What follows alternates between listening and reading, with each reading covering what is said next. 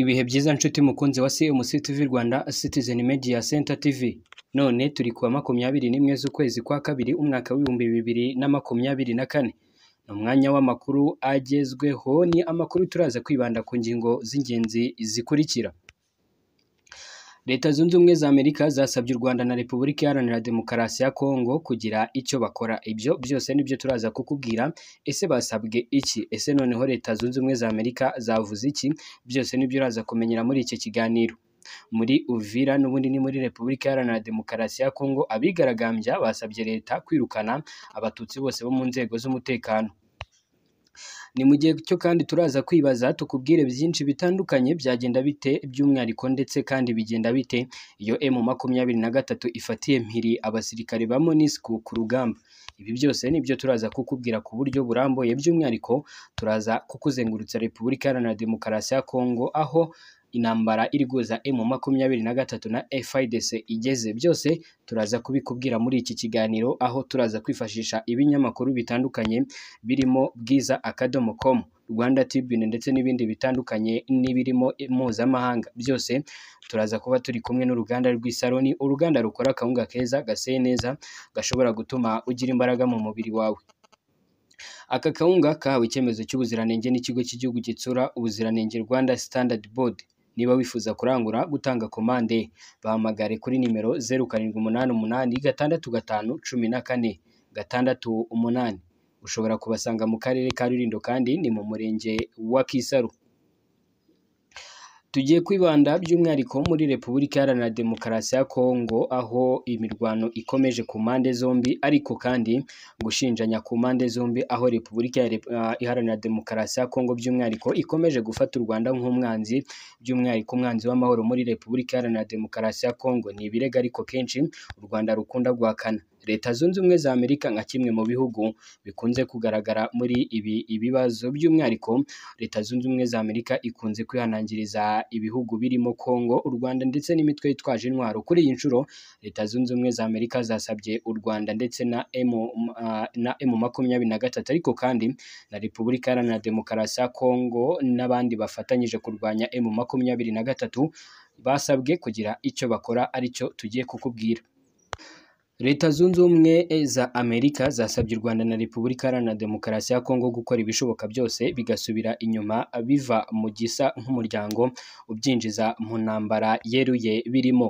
Amerika yatanze ubwo busabe mu ijoro ryakeye ubwo i New York hari hateraniye inama y'akanama rwose ka Loni leta y'u Rwanda iheruka gutanga integuza y'uko yafashe ingamba zijyanye no kurinda ikirere cyarwo ndetse n'izo guhangana n'indege z'intambara z'igisirikare cya Repubulika Iharanira Demokarasi ya Kongo mu gihe zaba zigabye ibitero ku Rwanda.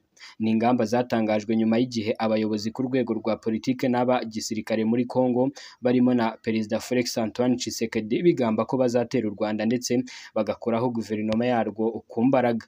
Kuri ubu impungenge z'uko intambara yeruye hagati y'ibihugu byombi ishobora kubaho ishobora kubaho ko nyine ishobora kubaho ziracyari nyinshi. Mu nama yabaye mu ijoro ryakeye ambasaderi Robert Wood yasabye ko u Rwanda na Kongo bigomba gusubira inyuma biva mu muryango mu muryango ubyinjiza mu ntambara. Uyu mudiplomate yavuze ko impande ziri mu makimbirane ndetse n'abafatanyabikorwa bazo mu karere bakwiye gusubukura byihuse gahunda y'ibiganiro bya Nairobi ndetse na Rwanda. Yunzemo agira ati izo ngufu za diplomasi zo mu karere niyo nzira yonyine iganisha ku gisubizo cyaganiriweho ndetse n'amahoro arambye bitandukanye n'iza gisirikare. U Rwanda na Repubulika Iharanira Demokarasi ya Kongo bimaze umwaka n'igice urenga birebana ayingwe bijyanye n'ibirego buri ruhande rushinja urundi. Kinshasa ishinja Kigali kuba ariyo iha ubufasha umutwe wa M makumyabiri na gatatu urwanya ubutegetsi bwayo gusa urundi ruhande narwo rukayishinja gufasha no kugira imikoranire n'umutwe wa FDLR ugizwe n'abiganjemo abasize bakoze jenoside yakorewe abatutsi.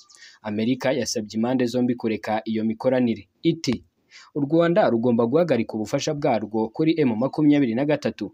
Rugomba kandi kuvana ingabo zarwo ku butaka bwa Kongo kandi rukanahavana bwangu misile zirasirwa ku butaka. Amakuru yizewe yerekana ko zarashe zibigambiriye indege za MONUSCO ku bwa leta zunze ubumwe za Amerika kuba u Rwanda nk'igihugu cyiza ku mwanya wa mbere mu bifite ingabo nyinshi mu butumwa bwa Loni bwo kugarura amahoro rukorera ibikorwa rukorera ibikorwa rwose ubutumwa bwa Loni by'umwihariko ngo ntabwo bikwiye by'umwihariko kandi ngo bikwiye no gusuzumwa n'umuryango mpuzamahanga ku kuba iki gihugu kiza ku mwanya wa mbere ngo kandi ngo hari ibyo rutari kubahiriza kubera ko ngo ngo rwakabaye rwarakuye abasirikare bayo muri Repubulika Iharanira Demokarasi ya Kongo nubwo ari ibirego kenshi u Rwanda rukunze guhakana iri tangazo kandi by'umwihariko leta zunze ubumwe za Amerika rivuga zivuga ko Repubulika Iharanira Demokarasi ya Kongo na yo igomba guhagarika ubufasha bwayo kuri FDLR ndetse n'imikoranire ifitanye na yo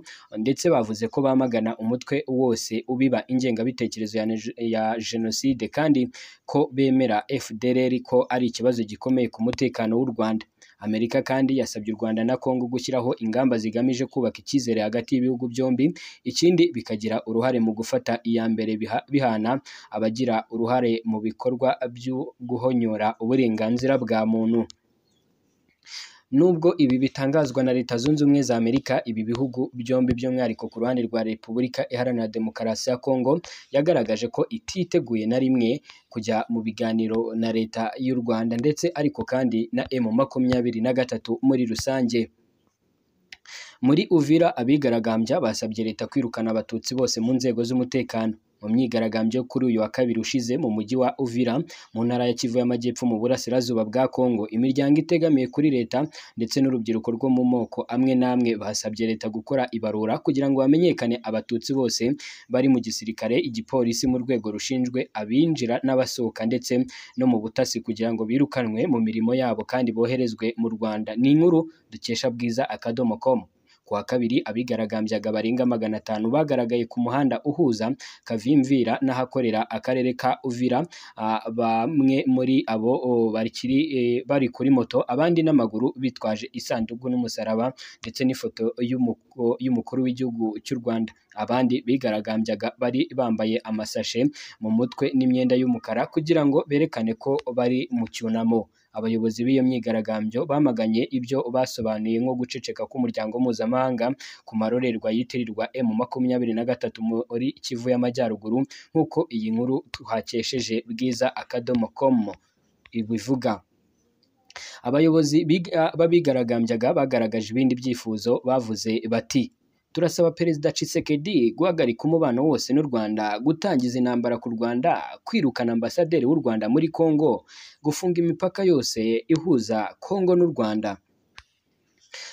Hagahita hibazwa ko bigenda bite iyo M makumyabiri na gatatu ifatiye mpiri abasirikare ba MONUSCO ku rugamba, dore ko MONUSCO na yo yamaze kwinjira ku rugamba. Nk'uko umuvugizi w'igisirikare cya M makumyabiri na gatatu yatangarije bimwe mu binyamakuru birimo na Primo Media Rwanda ko MONUSCO yinjiye e, mu ntambara. Ndetse ko na yo iri kurasa kuri M makumyabiri na gatatu. Ese bigenda bite iyo M makumyabiri na gatatu ifashe abasirikare ba MONUSCO uko iminsi ishira nuko intambara ikomeza gukara mu gice cy'uburasirazuba bwa Repubulika Iharanira Demokarasi ya Kongo. Ni intambara ihuje umutwe wa M makumyabiri na gatatu n'igisirikare cya leta ya Kongo kibifashijwemo n'abafatanyabikorwa bacyo barimo ingabo z'u Burundi, iza SADC, abacancuro o, F- FDLR, Wazalendo ndetse n'abandi batandukanye. Uretse FARDC n'abafatanyabikorwa bayo bahanganye na M makumyabiri na gatatu, ingabo z'umuryango w'abibumbye ONU ziri mu butumwa bw'amahoro muri Kongo MONUSCO na yo ishinjwa n'aba barwanyi b'Isarambwe kwinjira mu mirwano aho gukora inshingano zayizanye no guhagarara hagati. Muri iyi ntambara igwamo benshi batandukanye ariko mu minsi ishize ni nabwo byatangiye kugaragara ko hari n'aba MONUSCO batangiye kugwa muri iyi mirwano. Mu byakomeje kwibazwa n'abatari bake kandi usanga bafitiye amatsiko yo kumenya ni aho abafatwa ba MONUSCO bashyirwa. Mu kiganiro umuvugizi wungirije wa M makumyabiri na gatatu mu bya politike bwana Barinda Oscar yagiranye n'umunyamakuru ku wa kabiri tariki ya makumyabiri Gashyantare bibiri na makumyabiri na kane yabajijwe aho aba barwanyi baba bafatiwe baba bafatiwe miri ku rugamba bajyanwa. Asubiza ko abo ku ruhande rw'ihuriro rya FIDC bafatwa nk'abaka bafatwa bakagaburirwa bamara gushira inzara bakigishwa indangagaciro za M makumyabiri na gatatu nk'impinduramatwara yawo. Naho abo ku ruhande rw'ingabo za MONUSCO avuga ko iyo babafashe bakurikiza amategeko mpuzamahanga bakabambura intwaro ubundi bakabashyikiriza bene wabo. Yakomeje agira ati abanyamahanga bo tubambura ibikoresho ubundi tukamuha bene wabo iyo ngiyo. Wabonye ubushize ko twerekanye ba bacanshuro Bwana Barinda yatangaje ibi nyuma y'uko ku munsi w'ejo hashize imirwano mu gace ka Kanyamahoro yari yafashe indi ntera hagati y'impande zombi. Ni mu gihe kandi kugeza ubu umujyi wa Goma uni, uh, ndetse eh, na Sake ikaba ari iri mu maboko ya M makumyabiri na gatatu. Mwibutse ko iyi ari CMC TV Rwanda Citizen Media Center TV aha tukugezaho amakuru agezweho by'umwihariko amakuru utasanga ahandi. Ni amakuru tuba twifashishije ibinyamakuru bitandukanye birimo mpuzamahanga ariko aya none twifashishije Rwanda Tribune ndetse n'ikinyamakuru bwiza akadomo com. Ndagushimiye cyane.